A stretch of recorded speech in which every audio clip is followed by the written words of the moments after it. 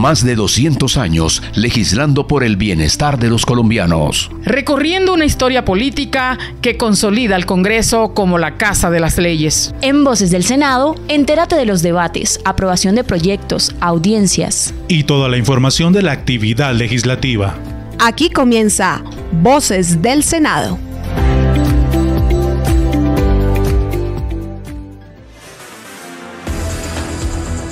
Aquí estamos en este domingo 14 de abril del año 2024. Gracias, como siempre, a todos los oyentes en la geografía nacional por acompañarnos en Voces del Senado, el programa institucional del Senado de la República que se emite a través de la Radio Nacional de Colombia, que es esencia, que es cultura, que es información, que es música, que es compañía para todos los compatriotas. Vamos a presentar los hechos, las noticias, sucesos y acontecimientos acontecimientos generados en el Congreso de la República durante esta semana. Sean todos bienvenidos. El presidente del Senado es Iván Name Vázquez, Robinson Castillo Charris, jefe de información y prensa. Estas son las noticias se llevó a cabo una nueva audiencia de regiones autonómicas, informa el periodista Alexander Ariza.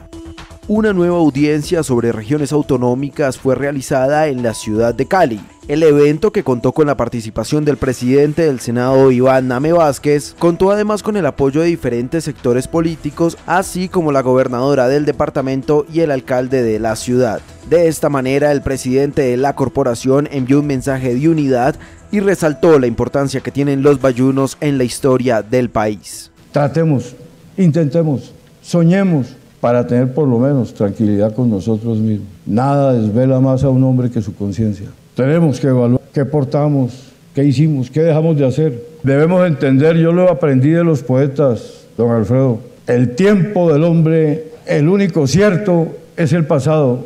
Realmente lo demás está por venir. Y en el pasado está escrito el porvenir y el futuro, lo que hicimos, lo que dejamos de hacer, a quienes quisimos, los hijos que tuvimos, los que nunca llegaron, los que se fueron, los que nos dejaron, los que dejamos. El porvenir está en descifrar que el origen de nuestro conflicto y la violencia, la guerra, es el atraso y la pobreza. Y el atraso y la pobreza están radicados en la matriz de nuestra forma como estamos organizados. Si algún día existió el paraíso, que yo estoy convencido por la fuerza de la fe que es así, tuvo que haber estado aquí en el Valle del Cauca. Su belleza, su exuberancia, su poesía innata, tenía que obligarnos a que viniéramos acá como fuimos a Barranquilla, Medellín, a, a, Bucaramanga y Bagué, a decirle a los bayunos, líderes naturales de nuestra nación, ayudemos entre todos a empujar sin líderes, padres o providentes mesiánicos, porque esta es una labor entre todos, una causa común. El presidente Name, de la mano con algunos congresistas, continuarán adelantando esta agenda de regiones autonómicas a lo largo de las diferentes ciudades del país. Para Voces del Senado, Alexander Ariza. Se constituyó por parte del presidente del Senado, Iván Name, una comisión accidental para el estudio de la apelación. Ello busca por parte de la, del senador Ferney Silva quien presentó la iniciativa, que se reviva la discusión de la reforma a la salud en la plenaria del Senado. Informa Rodrigo Meléndez. Pepe, muchas gracias. La reforma a la salud sigue viva luego que el presidente del Senado, Iván Name Vázquez, nombrara una comisión accidental conformada por los siete presidentes de las siete comisiones constitucionales. He decidido una comisión accidental la comisión accidental, honorables senadores, estará constituida por los presidentes de las siete comisiones constitucionales. El senador Efraín Cepeda, presidente de la Comisión Tercera, hace parte de esta comisión accidental. Bueno, eso es lo que ordena la ley, que el presidente del Senado nombre una comisión. Él lo, lo hizo pues, a su leal saber y entender. Ahora nos corresponde a nosotros sentarnos, hacer un análisis y un examen ¿no? de esos temas y recomendar a la plenaria. Si la plenaria define eh, que da lugar a la apelación, pues entonces eh, el presidente del Senado definirá una comisión constitucional y comienza el proyecto en primer debate. Si la plenaria no acepta esa apelación, hasta ahí llegó el proyecto. Pues la senadora Berenice Bedoya, una de las congresistas que ayudó a hundir la iniciativa en la Comisión Séptima y su concepto de esta comisión. Lo que hay que hacer es una reforma consensuada con todos los gremios y con todos los actores de la salud para que sea una reforma eh, estable en el tiempo y exitosa. El escenario cambia con la convocatoria a una comisión accidental para revocar la decisión de ustedes. No, yo creo que mm, el presidente Name está en su justo derecho eh, de citar esta comisión accidental, ya que mm, ese es el proceso que sigue para poder, no sabemos si es que no la van a negar o, la van a seguir votando el archivo positivo eh, con estos presidentes de las comisiones. La comisión accidental tendrá ocho días para presentar su concepto favorable o desfavorable a la apelación que se ha hecho por parte del gobierno nacional con el fin de revertir la decisión de la Comisión Séptima del Senado. Rodrigo Meléndez, Voces del Senado. Muy buenos días, qué bien, gracias porque ustedes nos permiten llegar a sus hogares todos los fines de semana. Les presentamos ahora en Voces del Senado a través de la Radio Nacional de Colombia las conclusiones del debate sobre ordenamiento territorial que se llevó a cabo en el Congreso colombiano. Informa Geraldine Ávila. La senadora Laura Fortish, presidenta de la Comisión de Ordenamiento Territorial, nos contó cuáles son las conclusiones del debate de control político que se le realizó al Departamento Nacional de Planeación. Esto acerca de los avances en la implementación del catastro multipropósito que permitiría la descentralización, el ordenamiento territorial y la atención de riesgos en los territorios. Uno, resaltar la importancia del catastro multipropósito para la descentralización, el desarrollo, eh, eh, para la atención de, eh, riesgos y desastres y para, el crecimiento de cualquier ente territorial. Segundo, eh, que a pesar de que han venido muchos gobiernos en este proceso, implementación hoy prácticamente está en el 12.4%. Eh, el gobierno nacional hoy está hablando de que este año tiene un reto muy importante y es prácticamente lograr el 50% de implementación del catastro multipropósito, lo cual es bastante ambicioso. resaltaron cuáles eran esas fortalezas en este momento para poder establecerse esta meta para este año y eh, vamos a hacer eh, la conclusión, digamos, de, de la comisión es que vamos a crear una subcomisión que se va a encargar de hacer seguimiento frente a la implementación del catastro multipropósito. Mucha atención que un proyecto de ley busca prevenir que las líneas de telefonía móvil y algunos productos financieros sean utilizados para estafar a la comunidad para la comisión de delitos. Se evita que se cometan delitos a través de esta modalidad. Informa Enrique Castañeda. Pepe, oyentes, compañeros, muy buenos días. El senador del partido de la U, Julio Elías Vidal, radicó el proyecto de seguridad y confianza en líneas móviles y el sistema financiero. Esta iniciativa busca adoptar medidas efectivas para prevenir que las líneas de telefonía móvil y los productos financieros sean utilizados como medio para la comisión de delitos. Desde Congreso de la República hemos venido hace mucho tiempo trabajando en cómo tratar de ponerle freno al tema de la extorsión y el fraude que se presenta a diario en Colombia, un delito que viene en aumento y que las autoridades no dan abasto de cómo solucionar. Este proyecto de ley fue pensado para identificar plenamente a los usuarios de telefonía móvil y a los usuarios que usan el sistema financiero. ¿Por qué? Porque vemos que el fraude hoy en día y la extorsión se hace con un teléfono celular. El dinero del fraude y de la extorsión maneja a través de las cuentas bancarias y de los productos tipo Nequi y tipo Daviplat. Cuentas muchas veces tienen un dueño predeterminado o un dueño fijo o una persona real que sea el usuario de este tipo de cuentas y de estos teléfonos celulares. El proyecto está pidiendo que estas compañías se hagan responsables e identifiquen plenamente a sus usuarios para que la policía y la fiscalía tengan a quién acudir cuando se comete un delito a través de estos sistemas. En este mismo acto de erradicación, el senador del partido Alianza Verde, Gustavo Moreno, también se refirió a la iniciativa que fue radicada en la Secretaría General del Senado de la República. Acá lo que se le quiere poner es un nombre y una foto a cada SINCAR y a cada línea que venda cualquier empresa de telefonía, que vayan a comprarla pero que aparezca un nombre y que ese debe ser el responsable. De ahí se hizo la llamada extorsiva, de ahí se, se cometió el delito. Y aquí lo que se quiere crear es una georreferenciación de la persona que hace la llamada extorsiva o el delito.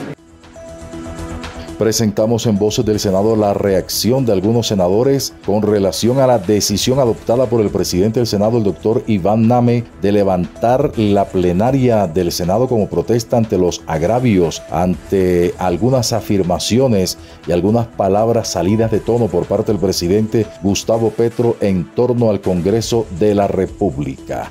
Aquí está la información con Rodrigo Meléndez. Pepe, en una audaz decisión, el presidente del Senado, Iván Name Vázquez, decidió levantar la sesión plenaria de este miércoles en protesta por las declaraciones injuriosas que contra el Congreso ha proferido el presidente Gustavo Petro. Seguir subiendo el tono en contra de nuestros congresistas y la institución del Congreso de la República solo contribuye al deterioro de las armónicas relaciones entre las ramas del poder público. El Congreso de la República seguirá ejerciendo su labor de legislar abierto al entendimiento y al consenso en beneficio y defensa de los colombianos. Nuestra insatisfacción por ese trato inadecuado. En señal de protesta levanto la sesión y cito para el próximo lunes. La medida ha causado diversos comentarios y posiciones. El senador del Centro Democrático, Andrés Guerra, dio una fuerte declaración ante esta decisión. Unos pensarán que es dilatación, y otros como yo creemos que este Senado sí merece respeto, porque mientras venimos a trabajar con la seriedad, en este caso en la oposición, no es aceptable que un presidente en el balcón, en la tarima, agite a un país a creer que somos narcotraficantes, que somos mafiosos, que somos paramilitares y que no hacemos un culo. Y así no es. En el pasado reciente no se tiene ninguna noticia con respecto a que un presidente del Senado haya levantado la sesión, lo cual seguirá generando comentarios a favor y en contra. Rodrigo Meléndez, Voces del Senado. Están escuchando Voces del Senado. Presentamos más reacciones porque esta fue la noticia más importante de esta semana en torno a la decisión de levantar la plenaria en la cual se discutiría, entre otros temas, la reforma pensional. Informa Geraldine Ávila. El que haya sido levantada la plenaria ha causado diferentes reacciones de los senadores. En esta oportunidad hablamos con los senadores Aida Abella y Didier Lobo Chinchilla, segundo vicepresidente del Senado, quienes ante los micrófonos de Voces del Senado dieron su opinión. Pues a mí me parece que es un acto irreverente contra el Senado que él dirige. ¿Cómo va a ser posible que el presidente en un ataque de, yo no sé si es de ira o de qué, ¿Qué le pasó al presidente? Lo vi un poco normal, pero parece que se desconfiguró. Y yo sí creo que esos actos no le quedan bien a un presidente del Senado. Él no eh, debe hacer esas cosas y debe consultarnos a los otros, porque aquí estamos 108 senadores, no un senador, y esto tiene que ser respetado. ¿Por qué? Porque todos tenemos votos, todos, absolutamente todos. Incluso hay personas que a él le duplican, le triplican y de todos sus votos. Así es que yo le pido al doctor Name que se serene, que guarde la calma y que por favor no vuelva a hacer eso, porque nosotros nos parece que es un acto también, no solamente de desconocimiento, sino que es un acto contra las reformas del gobierno. El presidente del Congreso, Iván Leonidas Name, hoy levantó la plenaria en protesta a la inconformidad por las declaraciones que viene haciendo el señor presidente de la República y porque en algunos casos responsabiliza al presidente del Senado del atraso de los proyectos que se están tramitando o del hundimiento de la reforma a la salud. Entonces aquí se le ha dado trámite pertinente a lo que viene llegando, pero los votos pues los y las mayorías las tiene que conformar es el gobierno. Nosotros somos respetuosos del Ejecutivo y con esto lo que se muestra es que el legislativo es autónomo y quiere también mostrar su independencia. Por primera vez en la historia se muestra un Congreso autónomo en la toma de decisiones más debates que cubrimos durante esta semana legislativa, en este caso con el ministro de Minas y Energía. Aquí están las conclusiones con Natalie Sánchez. Saludo a toda la audiencia de Voces del Senado. Esta semana, senadores de la Comisión Quinta citaron a un debate de control político al ministro de Minas, Andrés Camacho Morales, buscando que el gobierno explique cuáles son las medidas que se van a tomar para prevenir el racionamiento del servicio de energía en el país. Esto dijo el senador José David Name del partido de la U. Yo creo que el principal objetivo que tiene este debate es que el ministro rinda cuentas al país. Lo ha hecho a través de ruedas de prensa, lo ha hecho a través de comunicados, pero hoy donde es, eh, digamos, el escenario natural del control político por constitución, la Comisión Quinta del Senado. Aquí tiene que contarle al país cuál es la verdadera situación y eh, qué esperan los colombianos, qué decisiones va a tomar el gobierno nacional para tratar de mitigar un posible racionamiento. El ministro de Energía, Andrés Camacho, indicó que la generación de energía es necesaria y que se está trabajando para ello. Bueno, en primer lugar ya tenemos en desarrollo varios proyectos, algunos de los que estaban atrasados venimos desarrollando una estrategia para garantizar que entren lo más pronto posible, nuevos proyectos, indudablemente esto se resuelve con más generación de energía, en eso estamos trabajando, transformando la planeación energética del país.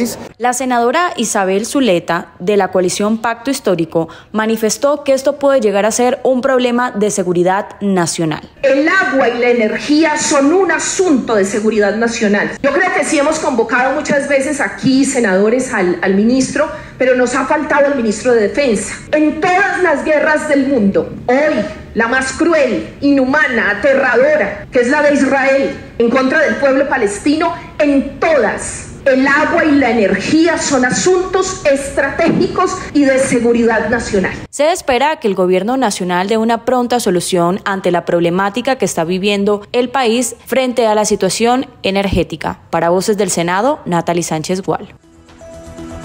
Avanzamos en la Radio Nacional de Colombia. Gracias por informarse con nosotros, gracias por preferirnos, gracias por recibir los hechos y las noticias del Congreso de la República. A propósito, esta semana la Fiscalía llamó a juicio al expresidente de Colombia y ex senador de la República, Álvaro Uribe Vélez. Reacciones en el Congreso. Rodrigo Meléndez. Buenos días. Una de las noticias más importantes en la política nacional está relacionada con el llamamiento a juicio al expresidente Álvaro Uribe Vélez por haber incurrido supuestamente en soborno a testigos. El senador Wilson Arias y su concepto de esta decisión. Bueno, por primera vez se escucha de Yanira Gómez y a Juan Guillermo Monsalve.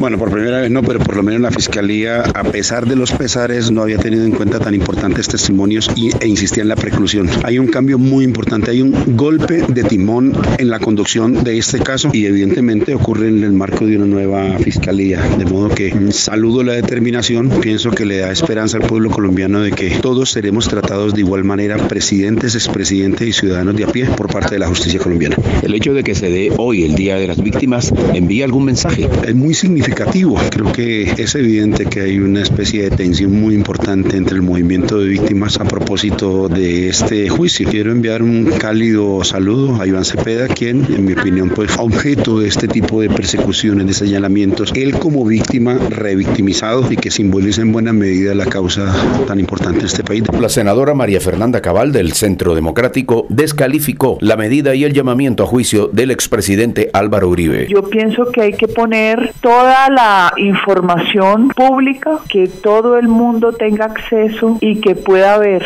primero, que las garantías judiciales están allí. Segundo, que no podemos seguir instrumentalizando la justicia para perseguir políticamente a quien no nos gusta. Y tercero, para mí que de Yanira, la guerrillera, que le regala a su ex marido una finca de 500 millones de pesos. ¿Y quién era su ex marido? El señor Monsalve, un sicario, sean los testigos de referencia, es una vergüenza. Entre tanto, el expresidente Álvaro Uribe ha asegurado que este juicio, al cual fue llamado por presunta manipulación de testigos, no es más que una venganza política en medio de la tormenta que desató el lío judicial que lo envuelve. Rodrigo Meléndez, Voces del Senado.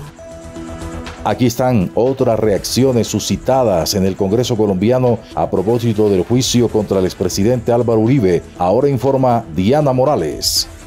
Así es, Pepe. Feliz mañana de domingo para todos nuestros oyentes que se conectan con nosotros a esta hora. El expresidente Álvaro Uribe Vélez fue acusado como presunto determinador por los delitos de soborno a testigos en actuación penal y fraude procesal, donde el fiscal a cargo del caso analizó la evidencia y los elementos probatorios. Es por esto que el senador Ariel Ávila nos da su postura frente a este importante tema. El proceso contra Álvaro Uribe Vélez y el proceso contra Nicolás Petro, digámoslo así, son las dos papas calientes y los dos procesos que van a medir la autonomía y la verticalidad de la nueva fiscal. Entonces yo lo que creo es que aquí hay que tener total tranquilidad. El fiscal que escribió el escrito de acusación viene desde la época Barbosa la fiscalía no juzga, la fiscalía únicamente va a acusar y yo creo que el, el ex senador Uribe necesita que su proceso o se cierre, ya sea declarándolo inocente o culpable Así que estamos siguiendo los trámites normales de cualquier proceso judicial y que se falle en derecho. Si el señor es culpable, que sea con pruebas. Si es inocente, que sea con pruebas. Pero esos escándalos del uribismo de que están siendo perseguidos o cualquier otra cosa, entonces, ¿qué quería? Que el proceso no terminara, tiene que terminar. ¿Y cómo cree usted que de pronto vaya a terminar este, este proceso? La, la rueda de prensa del expresidente Uribe esta mañana, en las últimas horas, es una rueda de prensa de una persona que se siente ya condenada. Me impresionó mucho escuchar al, al expresidente y verlo de esa forma. Eh, en dos intentos que hizo la Fiscalía de Preclusión, jueces de conocimiento le dijeron que no, que habían las suficientes pruebas para hacer los procesos. Entonces yo no sé cómo voy a terminar, pero pareciera que las pruebas son bastante fuertes. Informó para Voces del Senado Diana Morales. La ministra del Trabajo, Gloria Inés Ramírez, habló para Voces del Senado en torno a los compromisos del país en materia laboral. Desde el Ministerio de Trabajo, su titular, Gloria Inés Ramírez, ratificó el compromiso laboral con los más de 9 millones de colombianos víctimas del conflicto.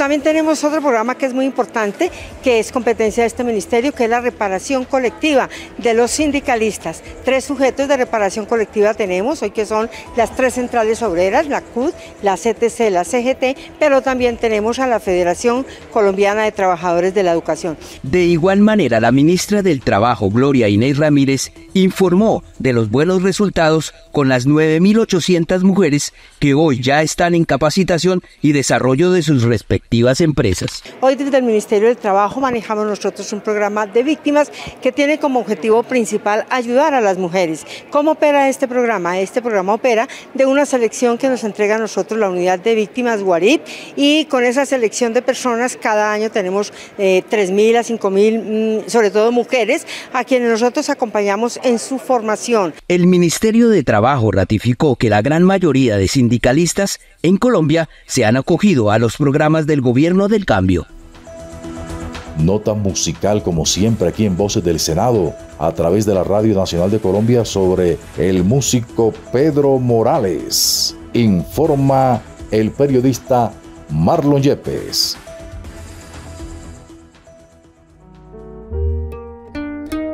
Cordial saludo para toda la comunidad que nos escucha a través de la Radio Nacional de Colombia y a todo el equipo de profesionales que hacen posible este su programa Voces del Senado. Hoy en la nota musical hablaremos del maestro Pedro Morales Pino, quien fue un destacado músico y compositor colombiano, conocido por su versatilidad y talento ha incursionado en géneros como la música folclórica, la música clásica y el jazz. Su trabajo ha sido aclamado tanto a nivel nacional como internacional y ha sido reconocido por su habilidad para combinar elementos tradicionales con arreglos modernos y sofisticados. El maestro Morales Pino compuso numerosas piezas originales que han sido interpretadas por prestigiosas orquestas sinfónicas y músicos en Colombia y en el extranjero. Su música refleja una profunda conexión con la cultura colombiana y sus raíces, así como su pasión por la innovación y la experiencia en el ámbito musical. Vamos a escuchar un fragmento de Fantasía sobre motivos colombianos, composición del maestro Pedro Morales Pino.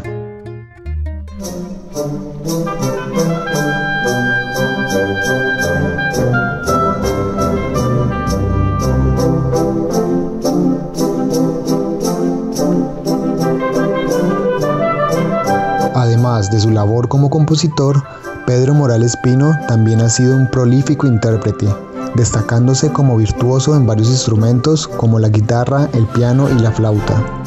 Su talento y dedicación lo han convertido en una figura importante en la escena musical colombiana y su legado perdurará en la memoria de quienes aprecian su arte.